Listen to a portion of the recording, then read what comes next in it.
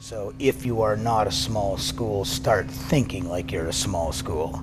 So all of a sudden understanding that the relationship that you have with your students is going to have a huge impact. It, it, it's going to be crucial to develop that in some way. And the second thing for me is going to be our ability to develop a incredibly growth-minded, positive faculty culture. And I think if we pay attention to that in terms of how our faculty are operating, how our whole staff, what is that culture going to be like? Is it progressive? Is it positive? Is it professional? That is actually going to pave the way. The opportunity that we have to, to help our students uh, take an active role in making their community and the wider community and the world a better place for next generations uh, is something that has taken on uh, a greater importance in our programs. One thing that we're going to have to do is make sure that our curriculum is no longer strictly Western centric.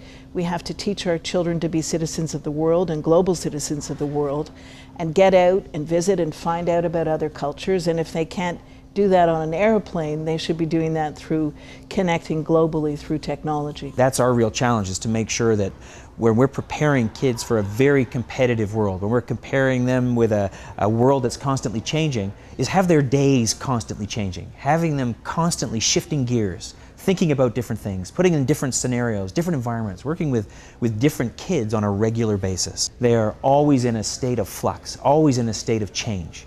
And I think if we model that in their day to day lives, then when they leave us and they go to university and life beyond, they're better prepared.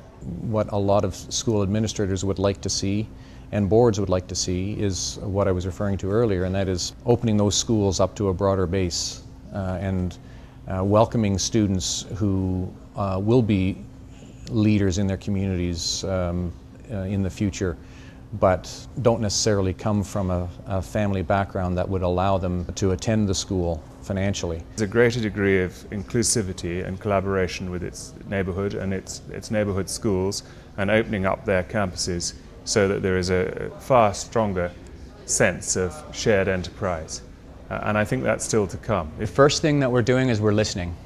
And everything must be uh, lived through our mission. On a daily basis, we must keep that at the forefront.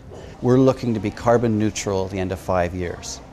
And where we are specifically in the Annapolis Valley in Nova Scotia, uh, we are on the top of a hill and we get tremendous winds coming through the valley. So I'm looking at, uh, at wind power and looking to, to, sort of reduce our dependency on, uh, on the grid itself. We've just completed a, a multifaceted survey of our old girls, 1,500 of them, current faculty and staff, all our students, grades 5 through 12, and our employees, faculty and staff.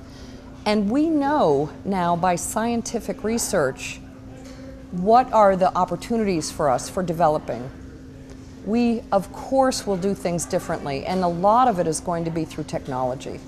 So, particularly in a girls' school, we want to make sure our girls are engineers, are techno uh, technologically trained, and can go into any field at any time. I think we're approaching a point where we're limiting the kids that should be able to experience our schools. The answer to that isn't just cost cutting, it is looking at, at how do we support through financial aid a broad group of children able to experience these schools. But to me, that's the big issue.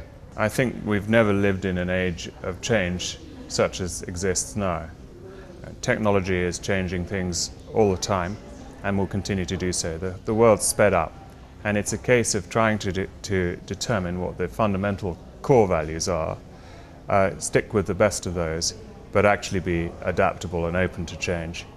Uh, and keep reviewing it. It's critical for us to make sure that we have this program where there's a breadth of opportunities, a breadth of things to do, and then to make sure that we have top people, top talented people running those programs. So to really being driven by bottom up. It's teachers that have amazing ideas or programs or administrators, and they're in an environment where they're allowed to flourish. There's Challenges, there's collaboration, there's competition, and it's all happening all in one space.